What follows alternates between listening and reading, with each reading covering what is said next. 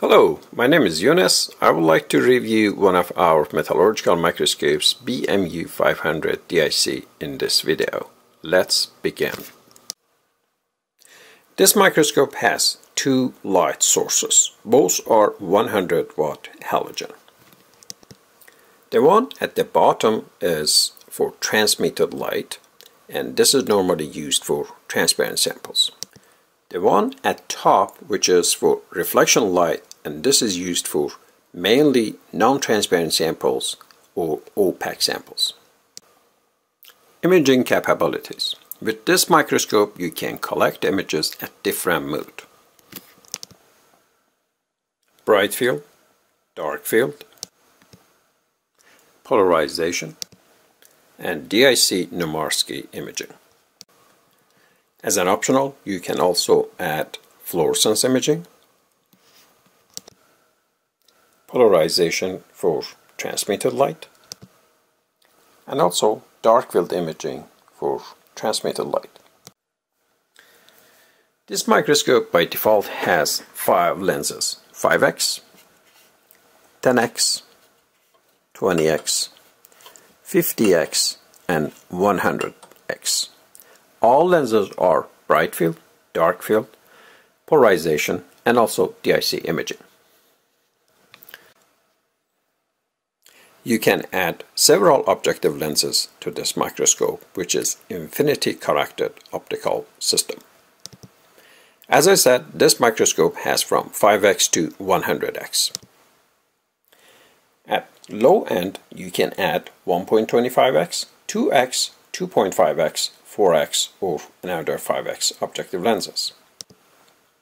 At middle range, you can add long or short working distance objective lenses of 10x, 20x, 25x, 40x, 50x, 60x, 80x, and 100x.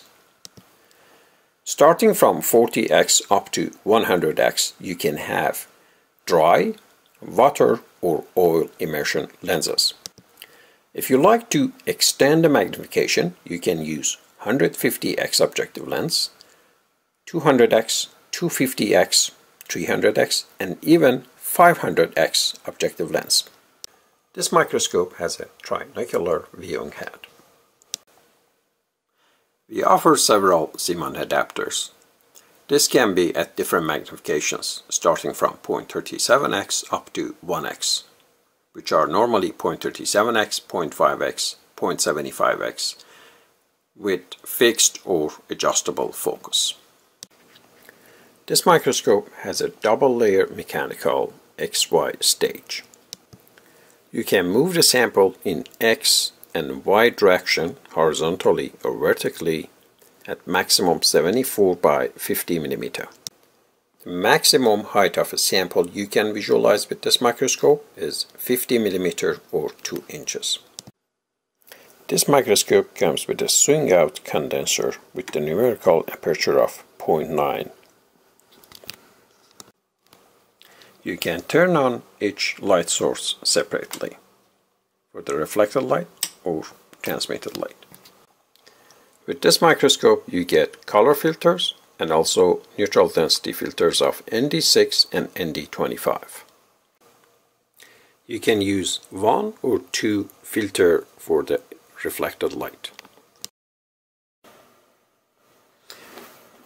So in this part of video I would like to show you a couple of sample images we can collect with this microscope. Basically I start with the bright field and right now we have 5x objective lens in action. So I switch to 10x. You will see this image.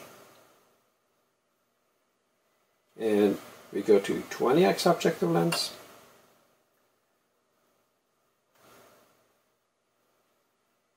And next is 50x. If you like to readjust the focus, you might need to re retune it a little bit. And 100x, since the sample is a little bit thick, so all of them will not be at the same time in the focus. This is a bright field.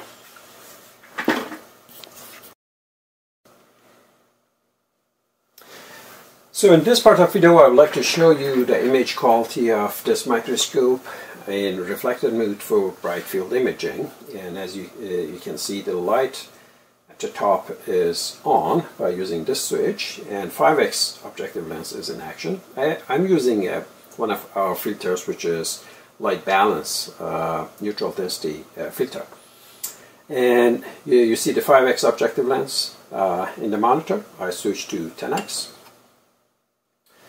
we adjust the focus a little bit. And the sample I'm using here, it's it, it is uh, a two dollars uh, coin. I switch to 20x.